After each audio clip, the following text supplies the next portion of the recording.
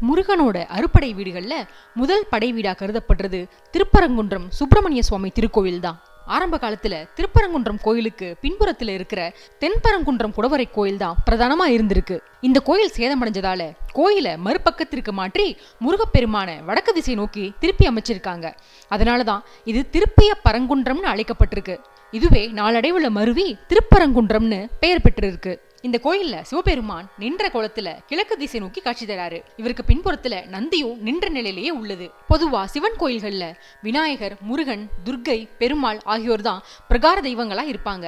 ஆனா திருப்பரங்குன்றத்துல சத்தியகிரீஸ்வரர்ன்ற பெயர்ல சிவனும் பவளக்கனிவாய் பெருமாள் கற்பக விநாயகர் சுப்பிரமணியர் துர்க்கையம்மன்னு பஞ்ச தெய்வங்களும் மூலஸ்தானத்தை ஒட்டியே அருள் பாலிக்கிறாங்க. இந்த மாதிரி ஒரு அமைப்பை காண்கிறது அபூர்வம்னு சொல்லப்படுது. மற்ற ஐந்து தலங்கள்ல நின்ற கோலத்துல அருள் பாலிக்கிற முருகன் இங்க தெய்வானைய மனம் முடிச்ச கோலத்துல அமர்ந்தபடி காட்சியளிக்கிறாரு. இந்த கோயில்ல வேலுக்கு அபிஷேகம் நடைபெறுது. இது ஒரு குடவரை கோயிலா இருக்கிறதுனால முருகனுக்கு அபிஷேகம் கிடையாது. அவரோட வேலுக்கு மட்டும்தான் இங்க அபிஷேகம் நடைபெறும். புரட்டாசி மாசம் கடைசி வெள்ளிக்கிழமை அன்னைக்கு இந்த வேல் மலையில இருக்கிற காசி விஸ்வநாதர் கோயிலுக்கு எடுத்து செல்லப்படுது.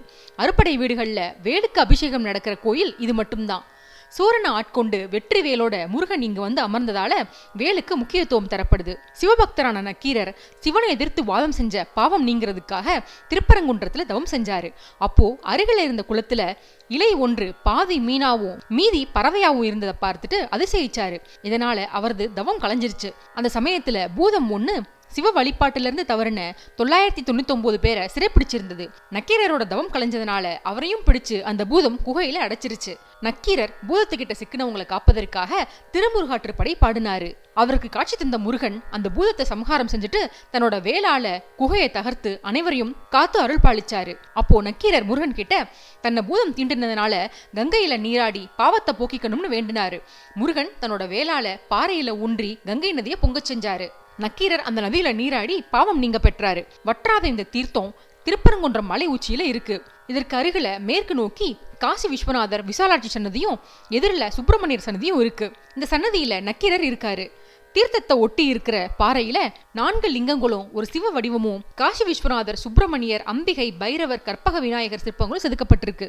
நக்கீரர் அடைக்கப்பட்ட பஞ்சாட்சர குகை சரவண பொய்கை அருகில இருக்கு. முருகனோட பிறப்பப்போ வெப்பம் தாங்க முடியாம பார்வதி தேவி ஓடினாங்க.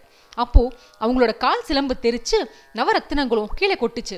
இந்த ரத்தினங்கள் எல்லாம் நவ சக்திகளா உருவெடுத்துச்சு. இவங்கள நவ காளிகள்னு அழைப்பாங்க. இந்த தேவியர்கள் சிவனை விரும்பி கர்ப்பமானாங்க. இதை தெரிஞ்சுக்கிட்ட பார்வதி அந்த பெண்களை கர்ப்பத்துடனே வாழும்படி சாபமிட்டாங்க. குழந்தை பெத்துக்க முடியாத அந்த காளிகள் சிவபெருமான் கிட்ட முறையிட்டாங்க. சிவனோ பார்வதியை சமாதானம் செஞ்சு உலக நன்மைக்காகவும் முருகனுக்கு துணையாகவும் அந்த குழந்தைகள் பிறக்க வேண்டியதொரு அவசியத்தை தேவிக்கு வலியுறுத்தினாரு. பார்வதியும் மனம் இறங்கி ஒன்பது குழந்தைகளை பிறக்க வச்சாங்க. அவங்க முருகனுக்கு துணையா இருந்து சூரபத்மனை அழிக்கிறதுக்கு உதவுனாங்க. பொதுவா சிவன் கோயில்கள்ல நந்தி விநாயகர் கோயில்கள்ல மூஞ்சூறு முருகன் சன்னதியில மயில் அப்படின்னு அந்தந்த சுவாமிகளுக்குரிய வாகனங்கள் தான் இருக்கும். ஆனா இந்த தலத்துல சிவன் விநாயகர் முருகன் போன்ற மூவருக்குமான வாகனங்கள் கொடிமரத்துக்கு அருகில அமைஞ்சிருக்கு ஒரு பீடத்துக்கு நடுவுல நந்தியும் வலதுபுறத்துல மூஞ்சூரும் இடதுபுறத்துல மயில் வாகனமும் இருக்கு. மகாவிஷ்ணுவோட வாகனமான கருடாழ்வார் அவருக்கு எதிரில் வணங்கியபடி காட்சி தருவார். ஆனால் இந்த கோவில்ல மகாவிஷ்ணுவுக்கு எதிரில் சிவன் சன்னதி இருப்பதனால கருடாழ்வார் சன்னதி அங்கே இல்லை. அதற்கு பதிலாக கருடாழ்வார் சண்முகர் மண்டபத்தில் கார்த்திகை முருகனுக்கு அருகில் வடக்கு நோக்கி காட்சி தராரு. மயில்களை பொதுவாக அதோட இயல்பான நேரத்துல தான் நம்ம பார்க்க முடியும். ஆனா திருப்பரங்குன்றம் கோயில்ல வெள்ளை மயில்கள் காணப்படுது. சுப்பிரமணியரோட தரிசனத்திற்காக தேவர்களும் மகரிஷிகளும் வெண்ணிற மயில் வடிவுல அங்க வசிப்பதா ஐதீகம். இங்குள்ள தர்ச்சனாமூர்த்தி இடது கைய தன்னோட காலுக்கு கீழே உள்ள நாகத்தோட தலைமையில வச்சபடி காட்சி தராரு. ஜாதகத்துல தோஷம் இருக்கவங்களும் நீண்ட நாட்களா நோய்களால பாதிக்கப்பட்டவங்களும் இந்த சன்னதி முன்னால ருத்ராபிஷேகம் செஞ்சு வழிபடுறாங்க. இந்த அபிஷேகம் பல விசேஷ பலன்களை கொடுக்கும்னு சொல்லப்படுது. சிவன் பார்வதிக்கு பிரணவ மந்திரத்தை உபதேசம் செஞ்சபோது அம்பாளோட மடியில இருந்த முருகன் அதை கேட்டுக்கிட்டு இருந்தாராம். அந்த மந்திரத்தை குரு கிட்ட இருந்து முறையா கத்துக்காம மறைமுகமா கேட்டது தவறுன்னு எண்ணிய முருகன் இந்த தலத்துல சிவனை வேண்டி தவம் செஞ்சிருக்காரு.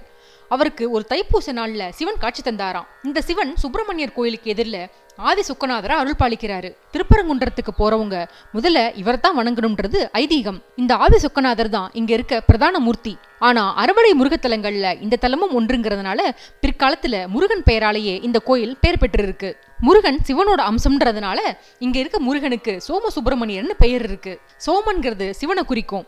கருவறையில சிவலிங்கத்திற்கு பின்னால சிவன் பார்வதி முருகனோட சோமாஸ்கந்தரா காட்சியளிக்கிறாரு. இந்த கோயிலை மால்விடை கோயில்னு அழைக்கிறாங்க. மால்னா திருமால் விடைனா நந்தி. பெருமாள் தன்னோட மைத்துனரான சிவனுக்கு சேவை செய்யறதுக்காக நந்தியோட இடத்துல இருப்பதா சொல்றாங்க.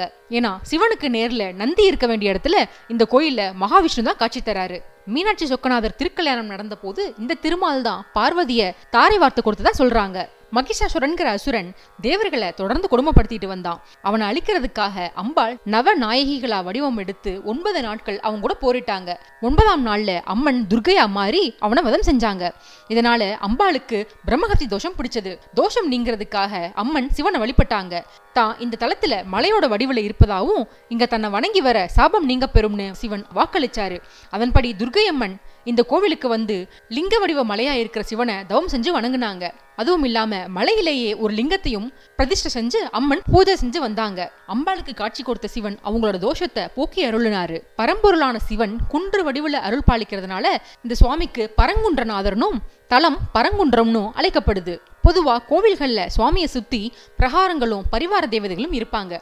ஆனா திருப்பரங்குன்றத்துல பிரகாரம் கிடையாது. சிவனே மலை வடிவமா அருள் பாலிக்கிறதுனாலையும் கோயில் குடவரை கோயிலா இருப்பதாலையும் இங்க பிரகாரம் இல்லை. மலையை சுற்றிலும் கிரிவலம் மட்டும்தான் செல்ல முடியும். தஞ்சாவூர் பிரகதீஸ்வரர் கோயில் திருவாவடுதுறை கோமுக்தீஸ்வரர் கோயில் போன்ற தலங்கள்ல நந்தி பெரிய வடிவில் அமைஞ்சிருக்கு. இந்த தலங்கள்ல எல்லாம் சிவனோட அமைப்பிற்கு ஏற்ற மாதிரி நந்தி பெரிய வடிவில் இருக்கும். திருப்பரங்குன்றத்துல சிவனே மலை வடிவா இருப்பதனால இங்குள்ள நந்தியும் மலைக்கேற்ற மாதிரி சற்று பெரிதா தான் அமைஞ்சிருக்கு.